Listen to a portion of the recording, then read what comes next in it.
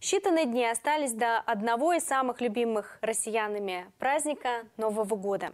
Уже в этот четверг миллионы семей по всей стране соберутся за праздничным столом и под бой курантов загадают свои заветные желания. Безусловно, уходящий 2020 выдался одним из наиболее непростых за последние несколько десятилетий. Разразившаяся пандемия коронавируса наложила отпечаток практически на все сферы нашей жизни. И, разумеется, скорректировала планы жителей Тверской области на празднование Нового года. Как с учетом всех требований и ограничений собираются проводить новогодние праздники тверичане? Об этом в материале Никиты Васильева.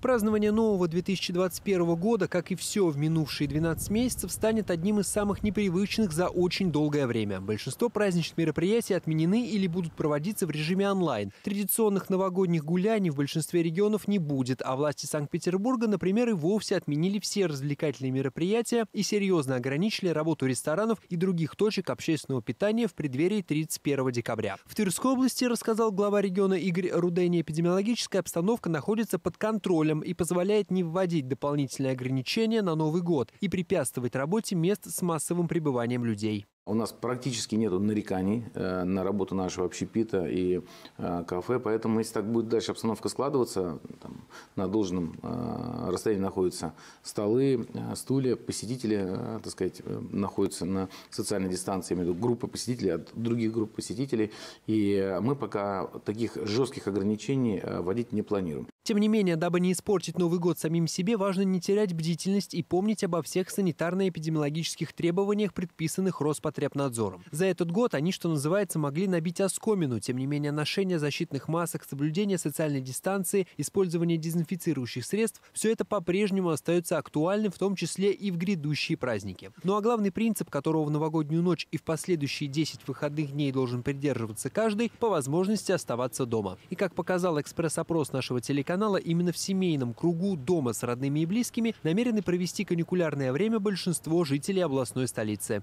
Какие планы на новогоднюю ночь и на последующие праздничные дни? Как планируете встречать, проводить Новый год? Дома буду с детьми, с мужем. Никуда не поедем. Мы живем за городом, так что будем там проводить. А не поедете почему? Потому что опасаетесь, ну да, как бы... опасаемся, и чтобы ничего не подцепить, будем лучше дома находиться. Никаких особо планов дома быть с родными. Быть дома? Куда-то пойдете? Может, на какие-то массовые мероприятия, концерт? Нет, никаких. Дома, в кругу семьи, как всегда. Нормально все будет, хорошо. Отдыхать будем вместе с семьей. С внуками. С внучкой. Будем ее поздравлять, желать всего хорошего. Посещ... Посещение каких-то массовых мероприятий, концерты, что-нибудь планируете? Нет. Свежий воздух, дача, игры, санки. Мы всегда дома встречаем. У нас большая семья, собираемся постоянно дома. Приходим друг к другу в гости. Так же и в этом году. За город куда-то будем уезжать, отдыхать активно. Лыжи, коньки, кататься с горки и так далее. В кругу семьи, естественно, Новый год.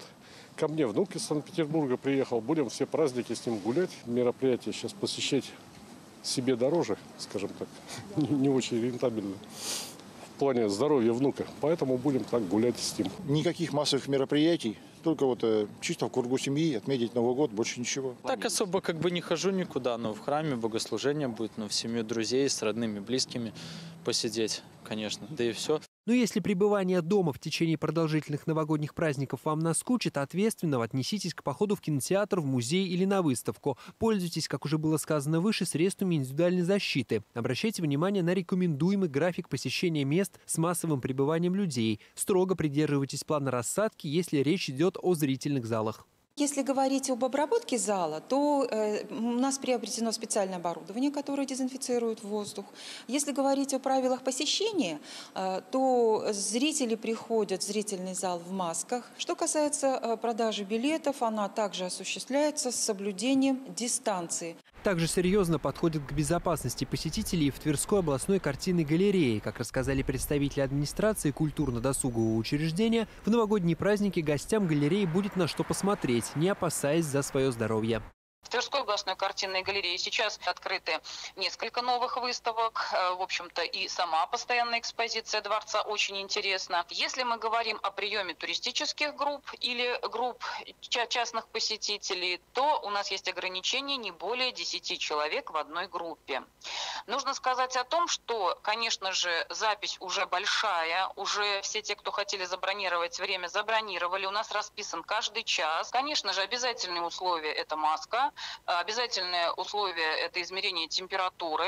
Словом, даже в нынешнее непростое время можно провести новогодние праздники интересно для себя и безопасно для своего здоровья. Для этого важно не терять бдительности, не забывать об элементарных правилах санитарной и эпидемиологической безопасности и по возможности лишний раз не выходить из дома. Тем более, что именно Новый год для русского человека – тот праздник, который в первую очередь нужно встречать дома в кругу своей семьи.